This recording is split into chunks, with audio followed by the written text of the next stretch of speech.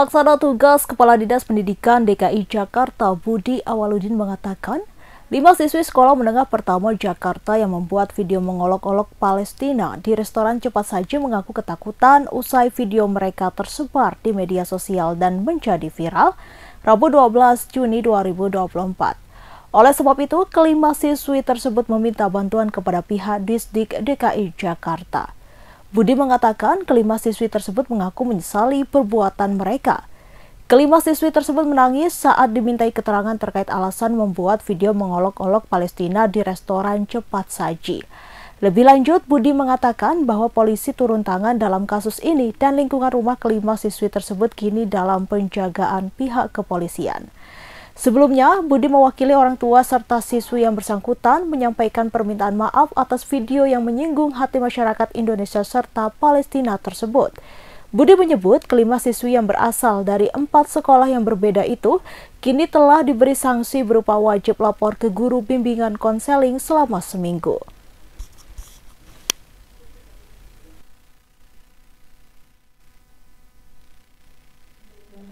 Dan berjanji untuk tidak mengulanginya lagi. Sekali lagi saya mohon maaf yang sebesar-besarnya dan terima kasih. Selamat malam, saya selaku orang yang ada dalam video yang beredar beberapa hari lalu, saya ingin minta maaf sebesar-besarnya kepada semua masyarakat dan pihak-pihak karena saya telah membuat ketersinggungan banyak orang. Saya sadar saya tidak dewasa dalam berkata seperti itu dan saya sadar bahwa topik tersebut bukanlah hal bercanda.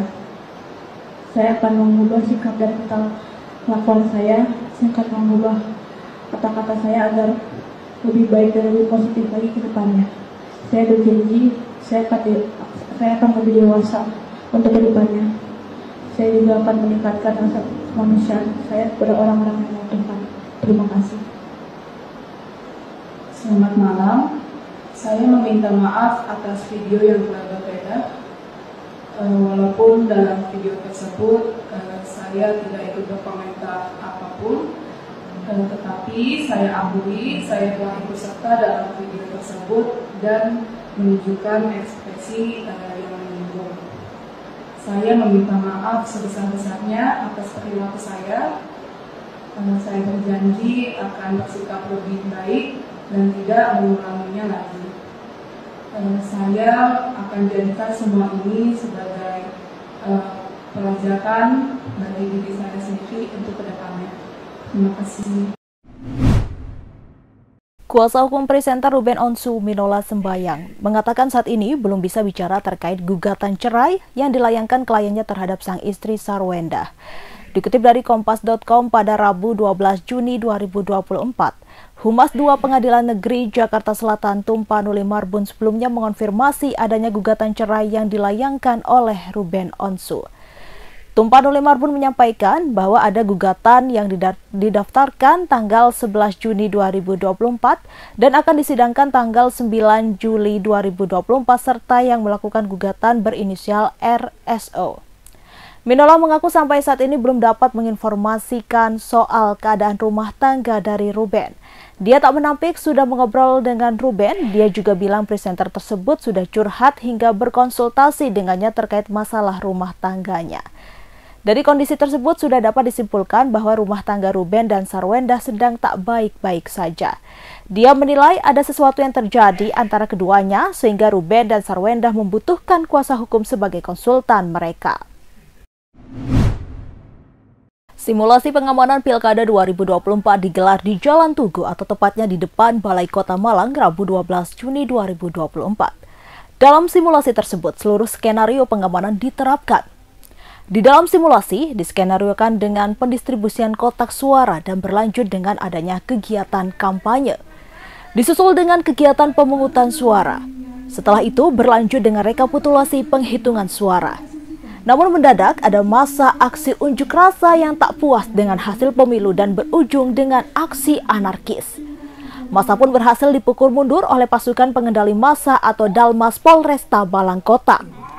Namun ternyata ada masa lainnya yang berbuat brutal dengan melakukan perusakan serta melakukan penyanderaan anggota KPU. Melihat kondisi semakin mengkhawatirkan, Polresta Malang Kota meminta bantuan dari pihak BRIMOB. Tidak lama kemudian, BRIMOB mengirimkan pasukan anti teror dan berhasil membebaskan Sandra. Sedangkan pelaku penyanderaan berhasil ditangkap dan segera diamankan. Dalam simulasi pengamanan Pilkada 2024 tersebut, melibatkan personil dari seluruh unsur jajaran samping, baik dari Polresta Malang Kota, Kodim 0833 Kota Malang, Dinas Perhubungan Kota Malang, Satpol PP Kota Malang, dan Brimob Batalion B Sat Brimob Polda Jawa Timur dan Pemadam Kebakaran Kota Malang.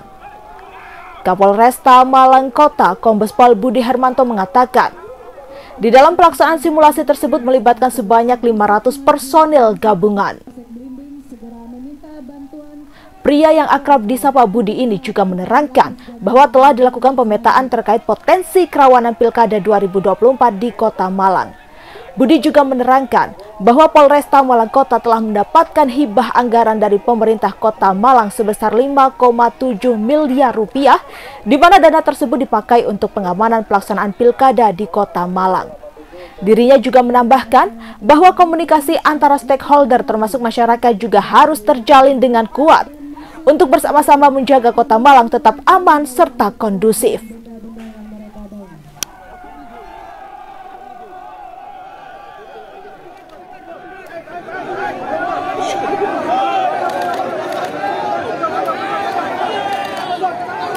Karena masa semakin mulai beringas, Kadokop memerintahkan Kasat Samata untuk segera mendatangkan K9 dan Damas lanjut ke lokasi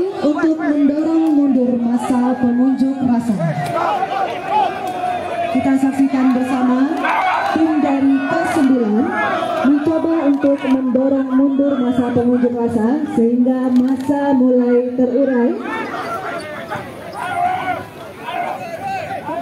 dan berputar. Selanjutnya pasukan Dalmas lanjut dengan menggunakan peralatan Dalmas lengkap bergerak menuju ke lokasi unjuk rasa dan segera melakukan lintas ganti dengan Dalmas awal. Namun hal itu tidak membuat masa mundur, masa malah semakin maju dan mencoba merengsek kembali ke kantor KPUD. Masa semakin beringas dan mencoba melempari petugas dengan alat-alat yang mereka bawa. Saat ini kita saksikan bersama Dalmas lanjut melakukan lintas ganti dengan Dalmas awal. Pasukan Dalmas lanjut melakukan tindakan dan tahapan sesuai dengan Perkap nomor 6 tentang pedoman pengendalian massa. Kita saksikan massa semakin beringas dan melempari petugas dengan semua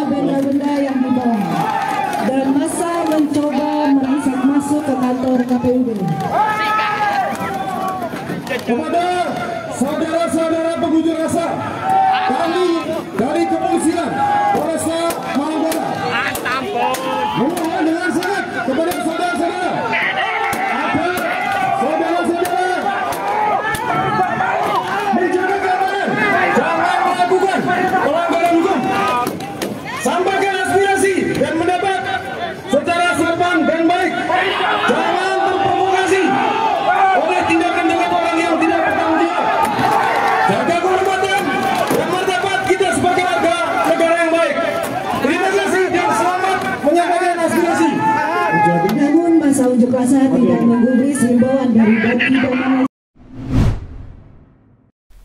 Kasus Security Plaza Indonesia yang tertangkap kamera tengah memukul anjing K9 kini berakhir damai.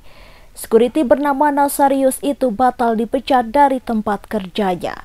Adapun Robi Purba dan Marlene Hariman yang pertama kali memviralkan kasus ini pun telah meminta maaf. Dilansir dari kompas.com, kesepakatan damai dalam kasus ini dilakukan seusai Polsek Metro Menteng melakukan mediasi terhadap pihak-pihak yang terlibat yakni perwakilan vendor penyedia jasa keamanan K9. Make up artis Marlene Hariman dan artis Robi Purba yang memviralkan video pemukulan anjing tersebut. Proses mediasi tersebut terjadi di Polsek Menteng, Jakarta Pusat pada Selasa 11 Juni 2024. Dalam kesempatan itu, Kapolsek Menteng Kompol Bayu Marviando mengungkapkan alasan Nasarius memukul anjing bernama Faye itu, yakni karena anjing tersebut menerkam anak kucing dan hilang kendali. Bayu juga menjelaskan bahwa tak ditemukan luka yang membahayakan imbas pemukulan tersebut. Oleh karena itu, semua pihak kini sepakat untuk berdamai dan tak melanjutkan kasus ke jalur hukum. Terkait hal ini, kuasa hukum vendor security K9 juga memastikan bahwa Nasarius batal dipecat. Dalam kesempatan yang sama, Robi Purba dan Marlin Hariman juga telah meminta maaf kepada Nasarius karena telah menyebarkan video pemukulan Faye tersebut. Puluhan rudal ditembakkan pasukan perlawanan di Lebanon Hizbullah ke wilayah Israel Utara namun warga Israel malah bersorak kelantaran rudal-rudal tersebut ditembak jatuh Iron Dome militer Zionis. Setidaknya 70 roket diluncurkan di daerah Gunung Meron di Israel Utara dari Lebanon beberapa waktu yang lalu. Namun tak ada laporan korban cedera atau tewas akibat serangan itu. Rekaman yang diposting ke media sosial menunjukkan beberapa intersepsi Iron Dome. Rudal-rudal Hizbullah tersebut meledak sebelum mencapai sasaran. Namun beberapa roket terlihat menghantam kawasan Meron. Sementara wilayah Kiryat Smona juga menjadi target dari sasaran. Warga Israel yang merayakan Hari Raya Safot pada Selasa 11 Juni 2024 terlihat bersorak menyaksikan rudal-rudal Hizbullah meledak di langit. Rudal-rudal tersebut bak kembang api lantaran diluncurkan sangat malam hari.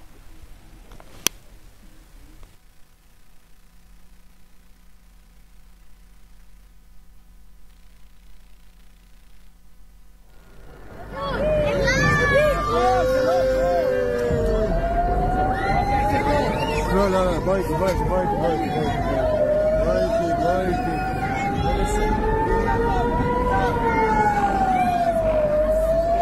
O que é? Não terá de longo. Não terá de longo. Graças.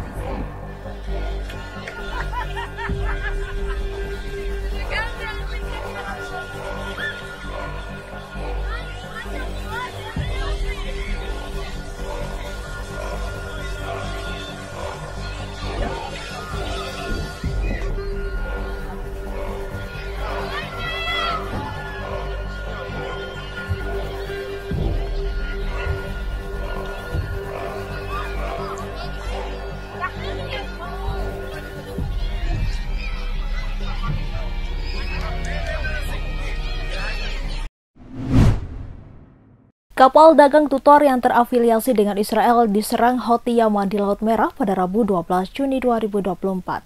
Saat melintas di Laut Merah, kapal tersebut ditabrak menggunakan kapal kecil milik Houthi. Akibat insiden tersebut, ruang mesin kapal dagang Israel berlubang dan terancam tenggelam. Dilansir dari Al Mayadin, hal itu diungkapkan langsung oleh perusahaan keamanan maritim Ambrey. Dalam laporannya dijelaskan bahwa kapal tutor mendadak mengeluarkan panggilan darurat dari Laut Merah di lepas pantai Yaman. Pasalnya, kapal tersebut meminta bantuan seusai diserang pasukan Houthi Yaman di sekitar 68 mil laut atau 110 km barat daya kota pelabuhan Hodeida yang dikuasai oleh Houthi. Kapal Israel tersebut ditabrak menggunakan kapal kecil Houthi hingga mengalami kerusakan. Ruang mesin kapal tersebut dilaporkan berlubang seusai insiden tabrakan tersebut.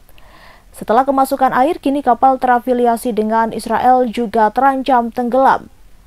Diketahui selain ditabrak menggunakan kapal kecil, kapal tutor juga diserang dari udara. Kapal tersebut dihujani dengan rudal balistik dan juga drone. Download Tribun X sekarang, menghadirkan lokal menjadi Indonesia.